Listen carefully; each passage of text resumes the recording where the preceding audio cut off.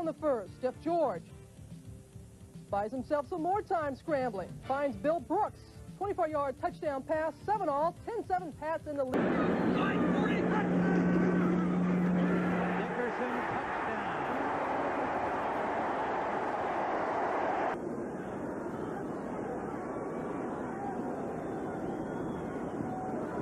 Gets some time and right at the goal line, touchdown, Dickerson.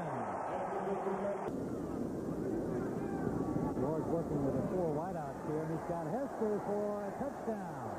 In there, TJ. And Robin, Jeff George has a lot of ability. Here you see him throwing against his body. Beautiful throw to the end zone. He'll be a great quarterback if he only lives through this season. That's true. Jesse Hester breaks the streak. The Colts' first touchdown in 58 possessions. Opening kickoff of the second half.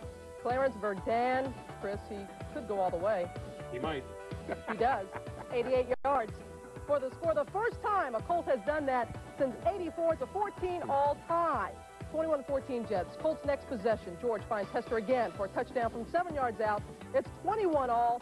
Then after the Jets fumble the ensuing kickoff, George finds Billy Brooks on the same pattern, also from seven yards out. George matches his season touchdown total in approximately one. At two, they have the ball at the eight.